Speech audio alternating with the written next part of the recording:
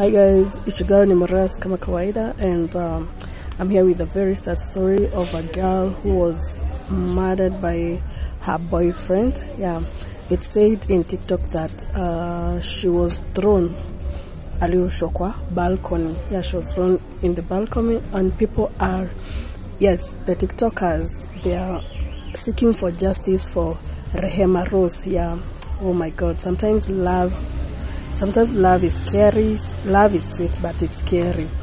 Um, we're just hoping that the family is going to get justice for yeah the family is going to get justice for for this beautiful soul because yeah it is said that the boyfriend the boyfriend is a kdf and he came and threw her off the balcony. Yeah alirushwa kwa balcony na akakufa. So just how how how she was a vibe yani she was enjoying her life. So ah, be careful guys. It's always good to be careful when you're dating because uh, if you hear someone threatening you that they are gonna kill you don't take it lightly.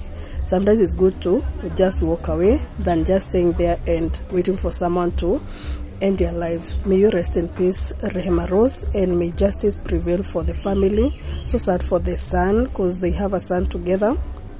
Yeah, we're just hoping that uh, justice is going to prevail, and we're just praying for peace and uh, yeah, peace and comfort to the family. So sad. Rest in peace, girl, because it's so sad. It's so sad. I don't know what you're. Uh, I, I I don't know. Just comment down below. What do you think about love? Sometimes uh, do you believe in love or you just say love is a scam? Okay love is sweet but uh, if you get the wrong person oh my god yani ni kitungu kitungu so continue subscribing to my youtube channel and please like the video leave a comment and please share your views about this